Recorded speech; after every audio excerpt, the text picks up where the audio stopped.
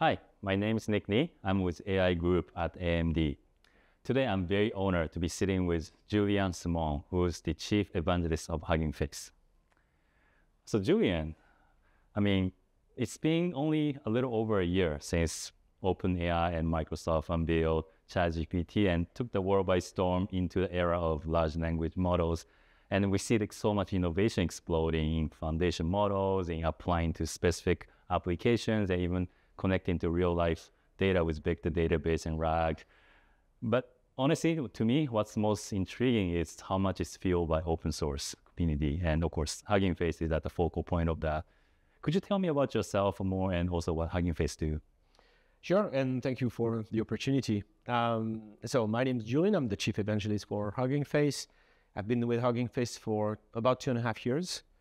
Um, my role is uh, two things mostly.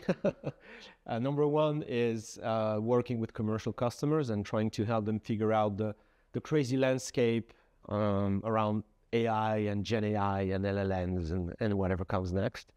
And, and, and of course, highlighting why we think open source is the best way forward. Um, and the, the second thing I do is I uh, work with our strategic partners. Uh, and as you know, we have cloud partners and with them we focus on integrating uh, the Hugging Face open source ecosystem into cloud services and, and uh, particularly machine learning services. And we have hardware partners uh, like AMD and others, um, where of course we focus on accelerating model training and model inference to give customers the best cost performance uh, ratio possible. So that's me. Uh, and Hugging Face in general um, over the last few years, as mentioned, uh, it has become, I think, the focal point of, uh, of open source AI. Um, our mission is very simple. Uh, we're all about open source, from models to data sets to libraries to tools. And we want to build state of the art uh, open source tools that we can bring to everybody out there, um, any, any company, any developer, even if they're not machine learning experts and um, uh, regardless of the compute environment they're using. So whatever cloud they're using, whatever hardware they're using, um, they should be able to work with state-of-the-art models for AI tasks in just a few lines of code. So that's what we do. That's wonderful. So now everybody's talking about generative AIs and large language models. So what is the Hugging Face's mission in these areas?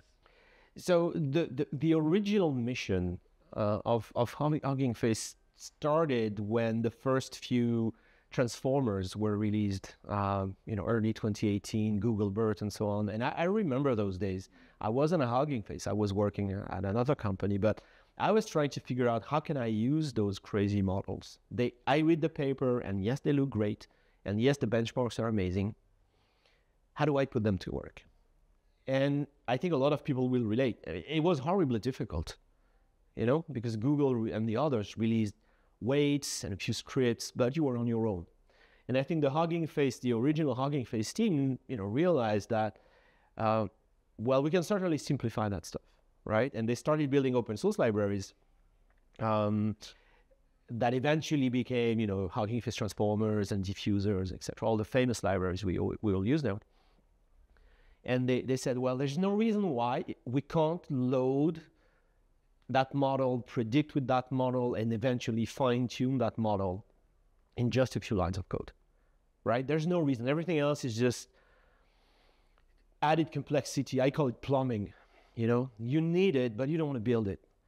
And, and that's, I think, that's why Hugging Face became popular. And uh, in the in the age of generative AI and large language models, I think it's even more important that, given the complexity of those models, you know, from Stable Diffusion to um, Llama 2. These are amazing models, but they're really complex. Yet, you can still load them in one line of code and, and put them to work and start experimenting. And I think the, I keep saying the three things about Hugging Face are open source, uh, state of the art, and simplicity. Easy to remember because it's OSS, you know, open source software. That's how I remember it. Um, and I think whatever comes next, you know, maybe something else comes after Transformers, maybe something else comes even after that, but we will still stand for that. Um, make it possible for community members to grab the latest and greatest model um, and, and start evaluating it in minutes to see if it's a good fit uh, for the business, the particular business challenge they're facing. Um, so that's really the you know that's the direction, and uh, and I don't think we're ready to compromise on it. It's it's really what we're what we've set for ourselves. That's amazing. That's very exciting.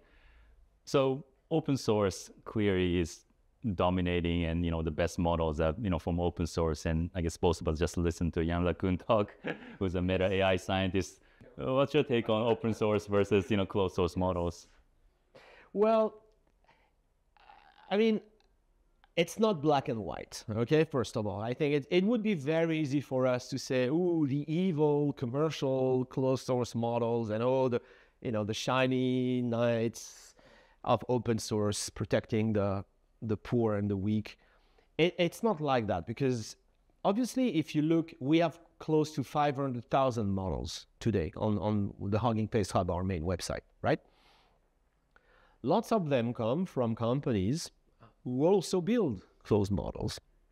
Okay, we have uh, really cool Microsoft uh, open source models. We have really good uh, Google um, uh, models. We have some original OpenAI models, you know, back from back when they were really open about things. Um, so they also, all those companies, all those organizations have research teams which want to open source um, their work and share their work because that's how they collaborate. That's how they foster innovation across teams, across companies, and advance the state of the art. And that's fine. And we welcome that and we encourage them to do more. But I also realize that they are they're working on very competitive um, you know, business problems like you know, search or uh, productivity apps, etc., etc. And well, um, their decision there is to build you know bespoke models that probably only make sense for them and their users, and to keep them closed, right? So fair enough. However, um, we think uh, that open source, in terms of transparency and control, and ultimately optimizing the business performance and the cost performance uh, that you get from the models is the best way forward. And we see it every day with our customers. They experiment with the large closed models, um, and certainly they did a lot of that with ChatGPT earlier next year, uh, last year, sorry. And um, and that was helpful. They realized what the use cases were, what the user experience should be like, uh, they educated everybody inside the company about, hey, AI, this is it. This is what it can actually do for us. Um, and then, well, they hit a few problems and realized maybe open source was the way forward. And and now they're building the same customer experience. They're building, um, you know, much more cost efficient uh, solutions with open source models. So again, you know, short answer is there's room for everybody. Some use cases, use cases that are pretty generic will work very well on closed models and and fine, get them get those features and products out the door very easily. But when you get into the mission critical enterprise topics where quality is everything, cost is everything, low latency is everything, you know, security and compliance, my favorite topic, are everything, then uh, open source is just the best option. Absolutely, absolutely. So there's so many use cases now. You know, I mean, startups are popping up left and right. You know, applying open source large language models into some domain applications. What kind of applications excite you the most? Well, the funny thing is, so I, I meet with a lot of customers. You know, enterprise customers, startups, uh, public sector as well, and um, and generally lots of conversations, especially a few months ago, started with, oh, we want to build our internal chat GPT. And I was like, all right, fair enough. Tell me about that. And honestly, five minutes into the discussion, it, most of the time, and no offense to anyone, I, I would highlight, you know, that maybe ROI was not clear at all, and and it was building something for the sake of building it, which which is fine in the lab, you know, experiment, but doesn't make a lot of sense in the business world at the end of the day, you know, what, what business value do you expect from this? And when I say business value, it, it doesn't have to be commercial. It could be, you know, improving student outcomes in education. It could be improving patient outcomes in healthcare. Um, you know, it could be improving you know, Paris traffic. You know, one can dream, um, et cetera, et cetera. So um, I think most of the real life projects that I see today in at, at scale in production are not chatbots. Um, they're the no nonsense automation productivity projects, you know, automating document processing, automating uh, translation, summarization, uh, extracting information from documents to feed it to downstream tasks, um, uh, speech to text, and then analytics on that. You know, the, everything that used to be very manual, very slow, or or that couldn't be solved with legacy IT or uh, or traditional uh, ML, and and that makes a ton of sense from from a business perspective if we automate this thing 80%, we're saving X thousands of dollars a, a month. That's easy to sell to management, right? to get sponsorship.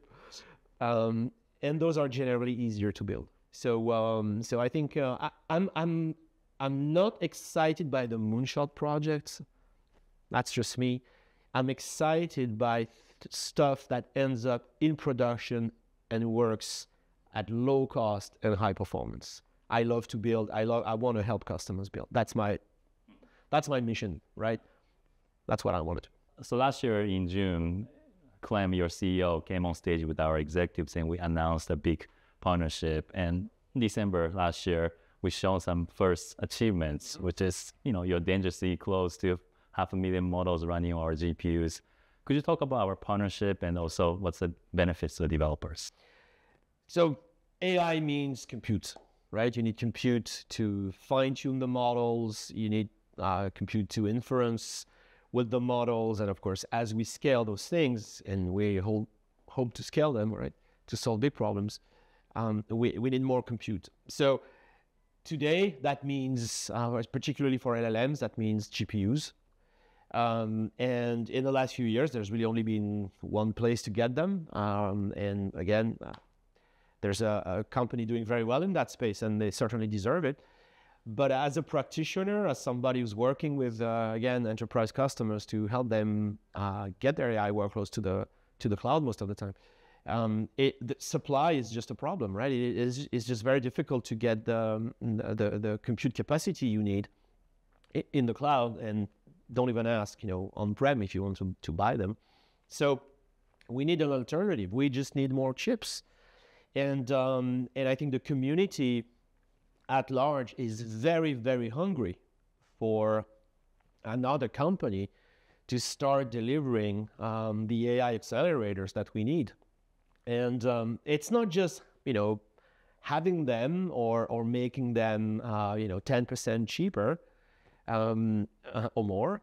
Uh, it, it's it's about having um, more innovation in that space. You know, because anytime in any market when you have a single company being very successful, well, I mean, they, need they need a challenge, right? We all need that. We all need somebody to to push us to to to do better, and uh, and I think that's that's what we need. So uh, when we started discussing with AMD, we realized that um, the um, the chips were going to be really great, um, that the the plan was going to be very solid and that yes absolutely we should start working together on bringing that uh, half million uh, models those half million models to the to the AMD GPUs and this is really what we've been uh, working on as a first step. There are many more things we want to do together. Um, but it's for the community it's really well uh, we'll keep bringing hugging face models to more and more hardware platforms um, starting with GPUs and then CPUs and whatever comes next, and you'll just have more choice, right? So um, just more options to build, and you can find the right cost performance uh, ratio for your app, and that's that's that can only be good news. That's wonderful. So I know yourself a AI practitioner and you do a lot of work, you know, and try AI models and different platforms. What's been your experience or your team's experience on working with in AMD GPUs and platforms? Well, it's it's only been a few months, you know, uh, and I've uh, I'm I'm very impressed how quickly we moved, and uh, and when I saw the initial versions of the you know the agreement, I thought, wow, that's that's something, you know. We, we're adding models, thousands of models probably, um, every week, if not every day.